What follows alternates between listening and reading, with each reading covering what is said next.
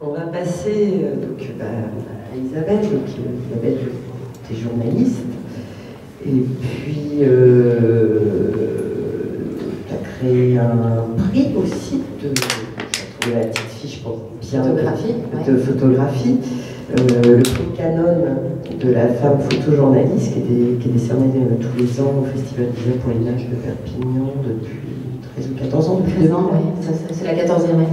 Voilà, donc plutôt assez, assez engagé, euh, auteur de l'Odyssée moderne déjà, aux éditions Images en manœuvre avec les photos de, Sarah Caro.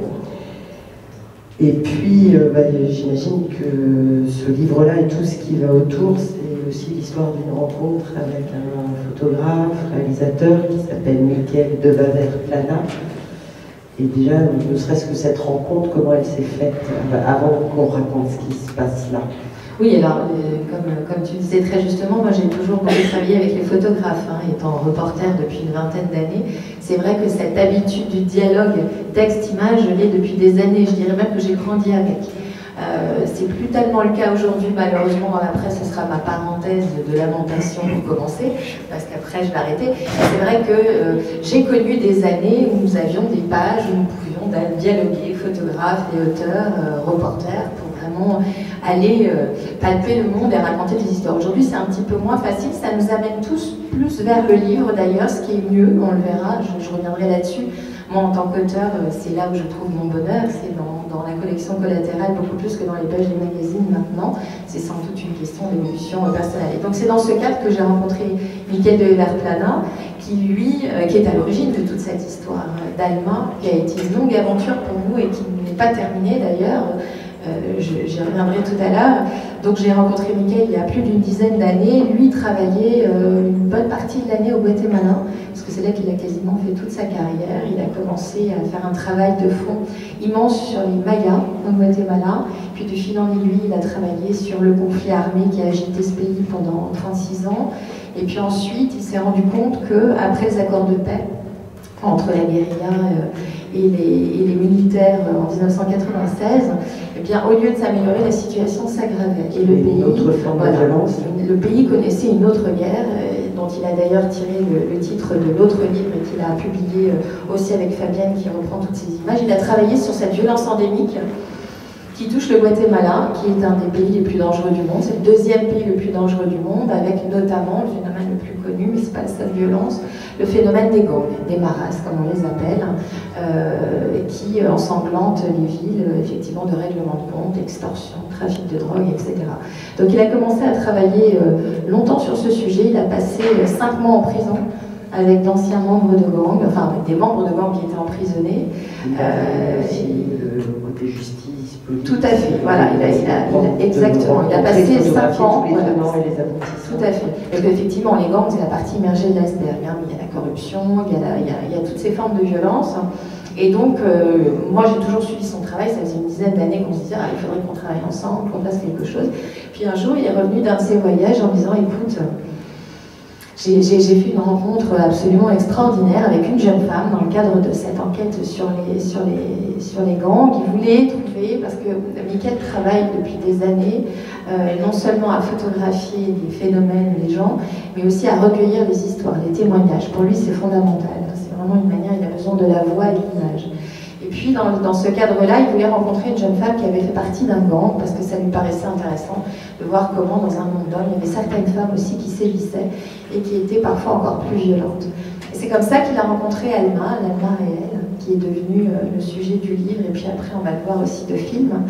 Euh, et il est revenu, il m'a dit voilà, euh, cette jeune femme est vraiment extraordinaire parce que son, elle a passé 5 ans euh, dans, dans- dans un des deux gangs les plus violents. Elle en est sortie, a- euh, comme on n'a pas le droit de sortir des gangs et qu'effectivement la punition c'est la mort, ses anciens euh, camarades de gang euh, lui ont tiré dans le dos. Donc euh, c'est une jeune femme qui aujourd'hui est paraplégique.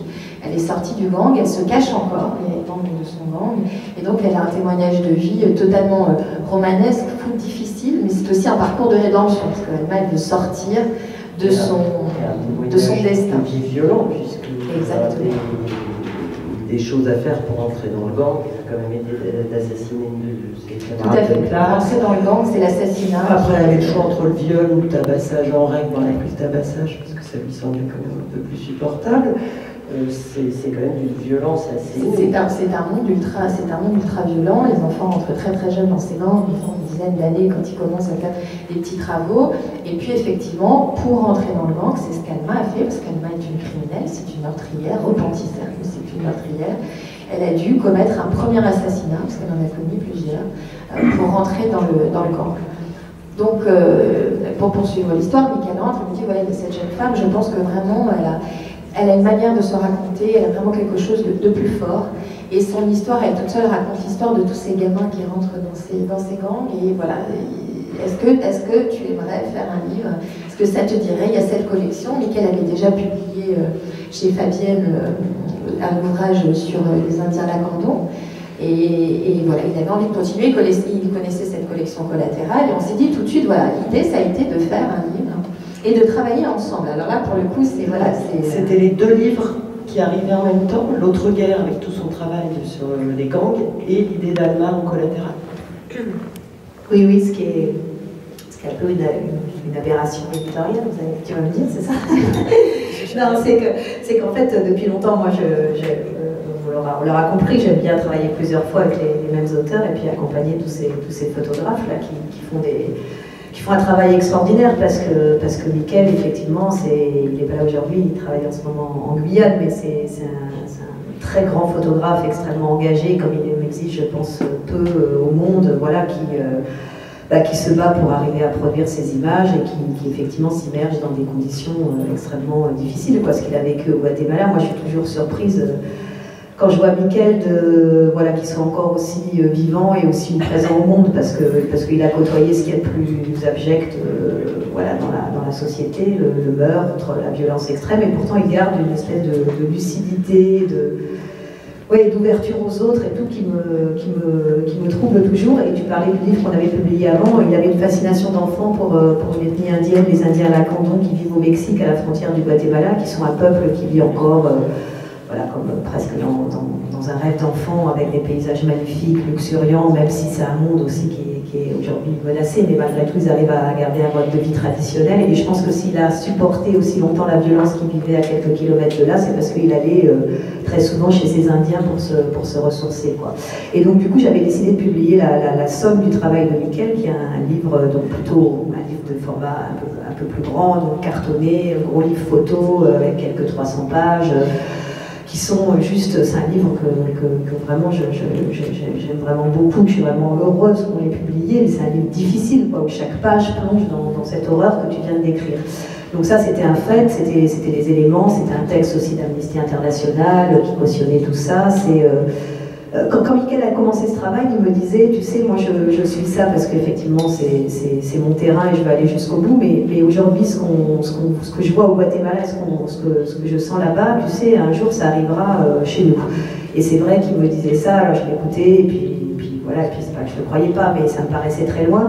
Euh, et, c'est vrai que nous qui vivons, enfin moi qui vis à Marseille où la maison d'édition est, employée, parfois quand je vois, euh, alors Marseille, je refuse de dire que ce n'est que meurtre et que crime, hein, c'est bien autre chose, mais, malheureusement c'est aussi ça, et c'est aussi ça dans certains quartiers à cause du narcotrafic qui, est en train de, prendre une ampleur qu'on ne veut pas voir.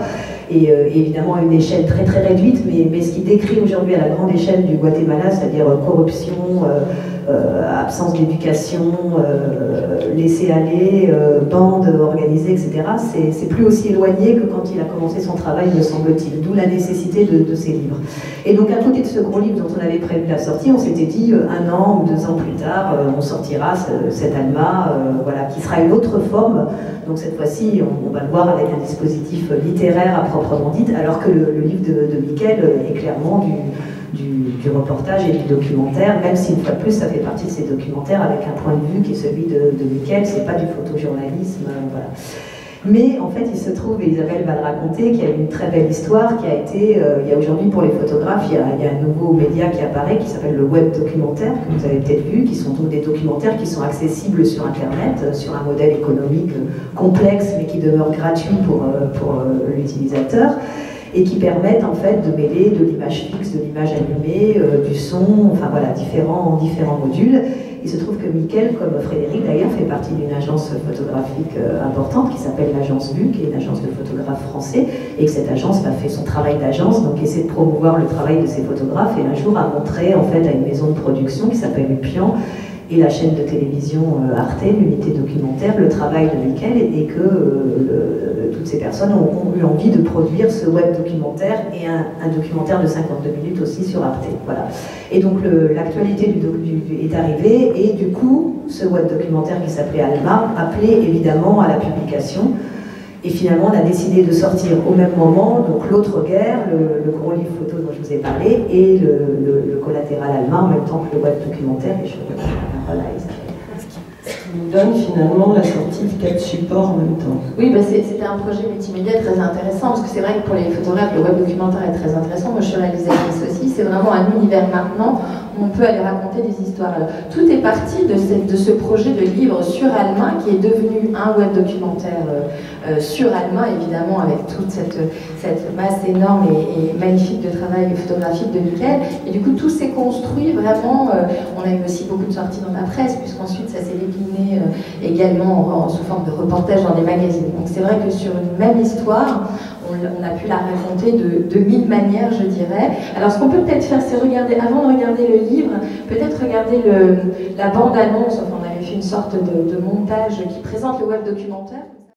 Un montage qui était destiné aux diffuseurs, mais ça a l'avantage de montrer. Euh, voilà, de, bien montrer à quel point on a, pu vraiment euh, raconter cette, histoire de, différentes manières. Pour en revenir à la collection collatérale, puisque c'est ça qui nous, rassemble ici, euh, il a fallu attendre, moi j'ai eu besoin, euh, alors ça s'est passé comme ça, Mickaël a photographié Alma pendant à peu près euh, trois ans. Entre le moment où il l'a rencontrée, il a eu l'enregistre quelque chose sur elle, il m'en a parlé, il allait régulièrement au Guatemala, il a réfléchi. Ensuite, moi j'ai rencontré Alma, on, s'est enfermés toutes les deux, elle m'a raconté sa vie pendant des heures et des heures, je crois que je dois avoir une dizaine d'heures d'enregistrement.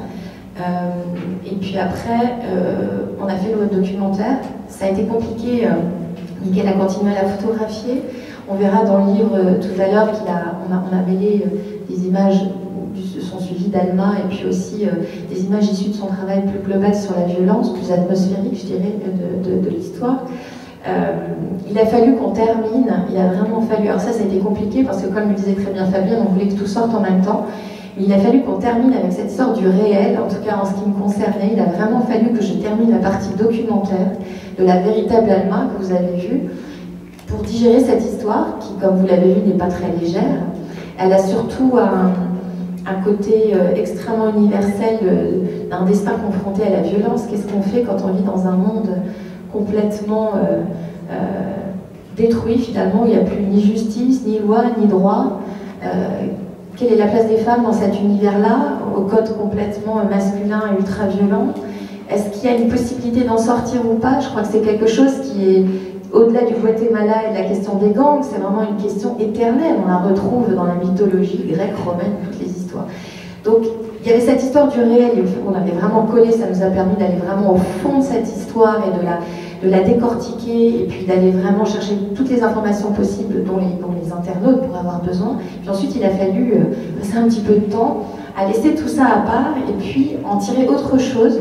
Et je dirais que, pour être très, euh, très sincère, ce que j'aime le plus de ce que nous avons fait dans cette histoire, enfin, c'est voilà, ce livre, parce qu'effectivement, euh, ça a été écrit avec du recul, de manière beaucoup plus là, par intellectuel, ça a été un peu un cri. Alors j'ai choisi de raconter l'histoire d'Anna à travers tous les personnages qu'elle croise dans sa vie. Ça va de son père, sa mère, la fille qu'elle a tuée, euh, des compagnons à elle. Euh, jusqu'à la mort. Jusqu'à la mort. Qui tourne à voilà, et ne finit et ne l'apprend pas. Voilà. Donc, et du coup, ça, c'était aussi des codes, par exemple, de la littérature euh, latino-américaine que je trouvais intéressant de reprendre, parce que le fait de faire intervenir la mort qui est présent dans cette histoire, voilà, et je pouvais me permettre ça. Et ça, ça a été formidable parce que Fabienne m'a fait une confiance totale, parce que c'était euh, c'était, pas ma première incursion euh, en littérature, c'était ma seconde, mais, mais, mais véritablement affirmée, c'était celle-là, parce que j'avais déjà écrit un carnet de voyage sur les migrants africains qui traversent le Sahara pour rejoindre l'Europe. J'avais déjà cherché quelque chose de cet ordre-là, sortir, vraiment arrêter de coller à la réalité mais vraiment utiliser tout ce que les mots nous permettent. Hein. Les photographes, effectivement, on dit qu'il y a une écriture photographique. c'est pareil pour raconter une histoire. Et ça, ça a été formidable que Fabienne ait toute cette confiance. Et alors, le travail avec Mickaël, là, cette fois-là, ça a été. Euh, on a travaillé comme ça. Moi, j'écris le texte euh, toute seule dans mon coin, je me suis enfermée euh, et isolée. Et puis ensuite, et Mickaël n'a pas. Hum, il n'est pas du tout intervenu. On a beaucoup, beaucoup échangé pendant deux ans autour de cette histoire, mais bon.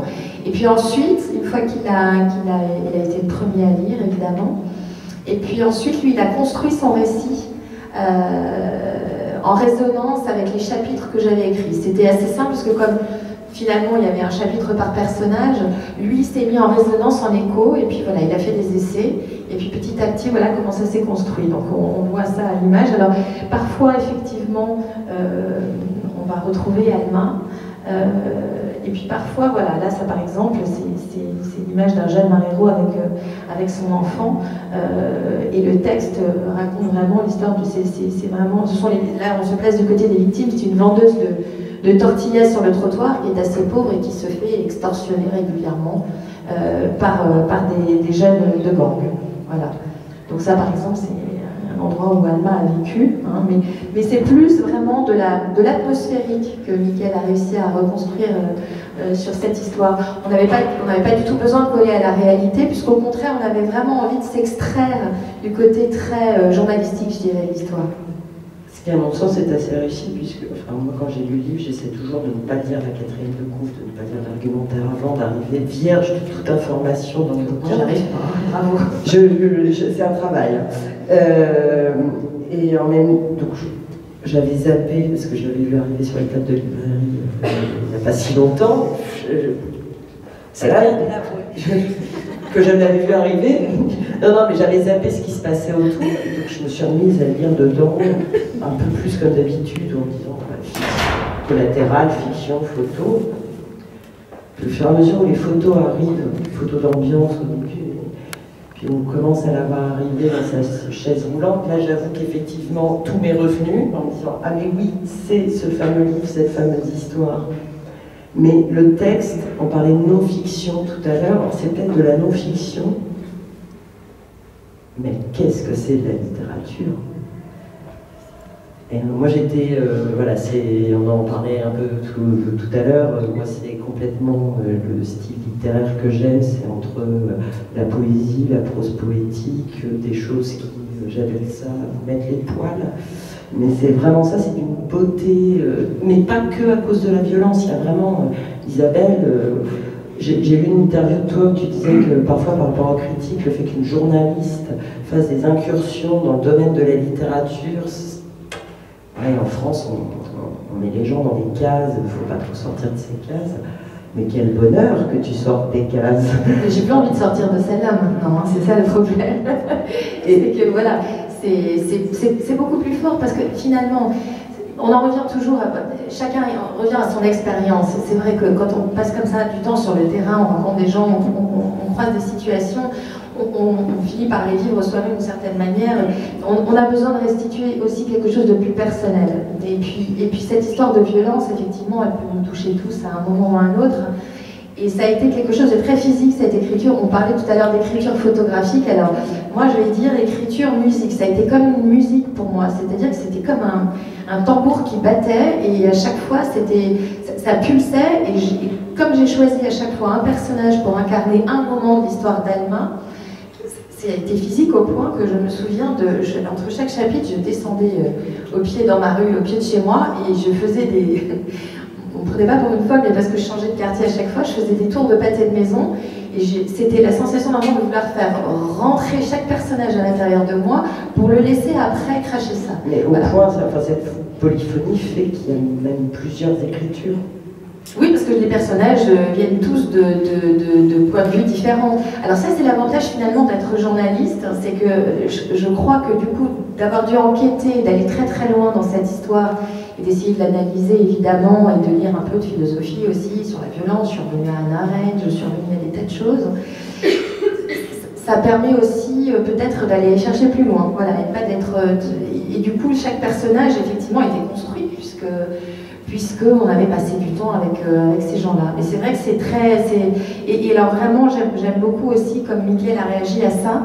Et, et c'est un peu comme un jeu de ping-pong finalement. On, on, passe de, sort de l'image et on rentre dans une autre réalité. On n'a pas cherché à coller.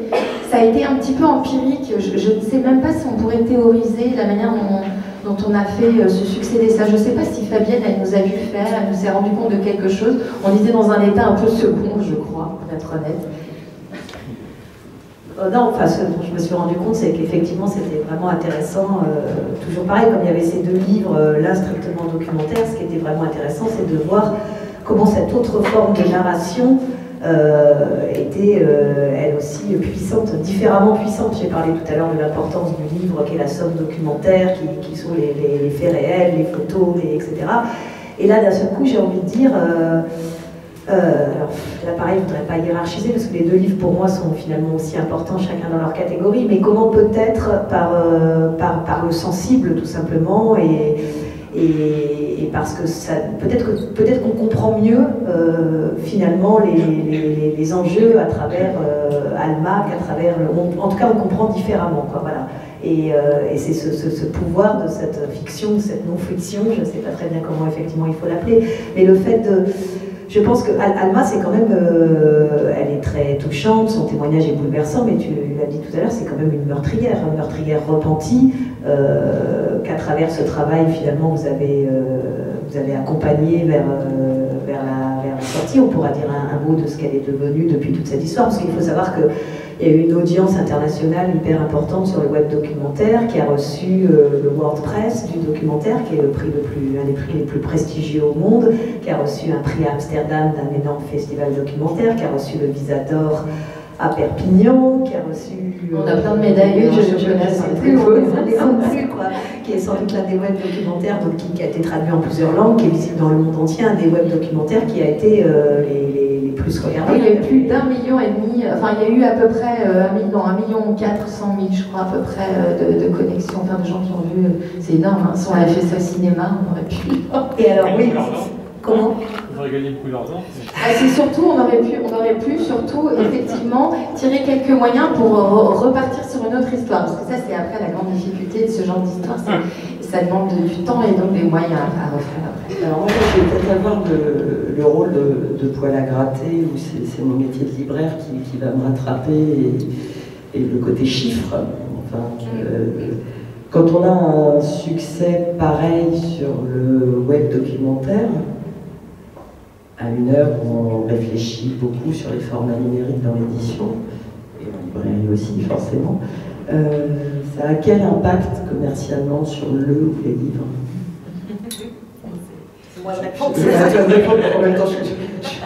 Je, suis un peu terrible, je, connais la réponse, mais je voudrais que tu nous en parles. Euh, qu'est-ce que je peux dire? Euh, très, très honnêtement, je vais, être vraiment, j'ai aucun mal à parler de ça. ça euh, et, vraiment, vraiment, je ne veux pas m'opposer à ce web documentaire que je trouve d'une grande qualité. Simplement, le, faisceaux là, je pense que le web documentaire a tué le livre et a tué les livres. Très nettement.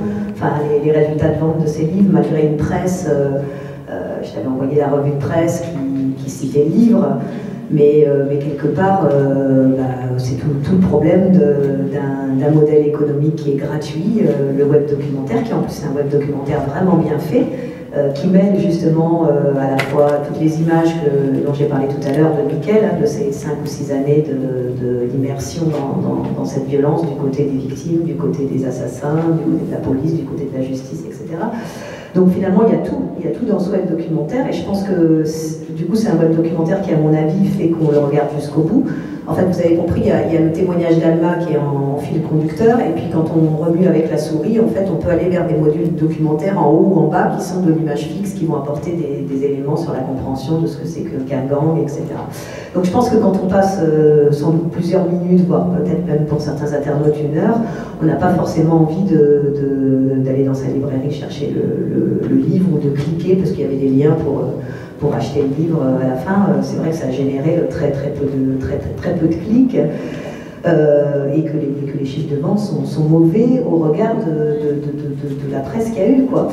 Alors après, c'est. Alors d'une part, c'est un sujet euh, difficile, tout le monde trouve ça très bien, très courageux. C'est souvent ce qu'on nous dit, nous, hein. on nous dit souvent qu'est-ce que c'est bien de publier des livres sur ces thèmes, euh, qu'est-ce que c'est courageux, quelle prise de risque, quel beau livre, etc. Mais, c'est vrai que derrière, il n'y a pas toujours l'impulsion, d'achat. Peut-être aussi parce que souvent, j'ai remarqué que les livres photos, on les feuilletait comme ça, il y avait du mal à comprendre qu'un livre photo va, se, va, s'emporter à la maison et va se lire aussi comme on, on peut lire des images. Une fois de plus, on peut les lire, les regarder dans un ordre différent, les comprendre comment le livre a été fait, etc. Donc il y a tout ça qui fait qu'aujourd'hui, euh, oui, aujourd'hui, alors c'est pas, pas un échec total non plus, mais c'est vrai que c'est pas, pas proportionnel à l'engouement et au prix qu'on vient de, de citer. Alors même qu'il me semble que justement le le, livre, en l'occurrence, euh, là je parle d'Alma, euh, justement nuance peut-être plus, mais ça peut-être que Sophie, toi en tant que lectrice, là tu peux en parler, Isabelle, nuance peut-être peut-être plus que le web documentaire qui est beaucoup plus frontal. Le fait de faire intervenir des personnages qui ont connu Alma euh, fait que le portrait est moins monolithique. Moi j'ai d'abord lu le livre et regardé le web documentaire, que pour le coup, moi j'ai pas pu regarder jusqu'au bout parce que je trouve ça d'une à la fois d'une froideur et d'une violence. Enfin, elle n'est pas froide, elle est super émue, etc. Mais là, on est dans le réel et le réel devient un peu insupportable. Et, euh, et, euh, je trouve que le documentaire pose aussi des questions euh, éthiques, enfin qui sont parfaitement réglées, c'est pas le problème, mais de finalement faire d'une assassin une héroïne que je ressens moins dans le livre, parce qu'effectivement, on est plus dans la littérature et dans la poésie. Donc, euh, la violence du livre me dérange moins éthiquement que la violence du, documentaire. Bon, après, je suis sensible, c'est ma faute. Mais, euh, enfin, moi, je trouve que justement, dans ce sens-là, le sens est encore plus affirmé du livre vers le, vers doc. Enfin, moi, ça m'a semblé d'une évidence. Euh, et il y avait. le, le web doc m'a donné encore plus envie de me replonger dans le livre. Dans l'autre sens, effectivement, et tu le disais, il y a ce phénomène de gratuité, enfin, voilà. Enfin, puis je crois pas seulement. alors, c'est vrai, on a eu pas mal de retours euh, qui vont dans le sens que vraiment les gens qui découvrent le livre sont vraiment euh, partent plus loin, ça les, ils y réfléchissent ensuite, euh, ça, ça, leur amène plus effectivement. le côté documentaire, moi j'aime beaucoup ce, ce, travail, etc. Mais c'est vrai que c'est très différent. Après, alors, petit espoir, on va dire. C'est vrai que du coup, les ventes ont été euh, difficiles, mais c'est vrai que le, livre est passé, euh, est passé un peu inaperçu finalement au milieu de cette avalanche de prix pour le, pour le documentaire. Ce qui est joli dans l'histoire, c'est qu'il y a un metteur en scène de théâtre qui a envie de monter ça sur scène. Euh, même pas de l'adapter, hein, mais ici il va falloir couper un peu parce que c'est un petit peu long sur scène, mais en tout cas il veut, il veut vraiment le, le, monter au théâtre. Donc je pense que ça va être une deuxième vie pour ce livre. Je pense que ça, a un réel, ça peut avoir un réel impact. D'autre part, euh, et ça aussi, alors je me dis, bon, c'est aussi l'espoir, c'est que euh, nous est arrivé de faire des interventions dans des écoles euh, et de raconter l'histoire d'Alma. Et puis après, les profs se sont emparés du livre et de l'histoire et le font étudier, notamment en classe de première au moment du bac de français, sur les questions d'identité et de stylistique. Et comment on part du réel, et comment ça se construit, etc. Et que finalement, il y a eu, il y a eu de, très jolis, de très jolis retours de lycéens euh, qui avaient envie de lire jusqu'au bout. Alors moi je vous dis, c'est vrai que ce sont des générations qui n'ont pas envie et que finalement, voilà. Alors il y a encore des choses qui peuvent se raconter. On est en train de préparer euh, avec Mickaël, euh, on espère arriver à tourner un, prochain film justement sur toute l'histoire qui, se construit sur l'après-Allemagne avec des jeunes de banlieue aussi qui ont monté un spectacle à partir du livre et du film. Enfin bon, il y, a, tout un tas de choses qui se construisent. Donc je crois que c'est un livre qui peut voilà, fonctionner dans la durée aussi, parce que finalement ça déclenche des tas de choses. Est-ce que c'est pas ça aussi pour les livres? Ça c'est une question avec les libraires, voilà, qui peut intéresser les libraires. Après, euh,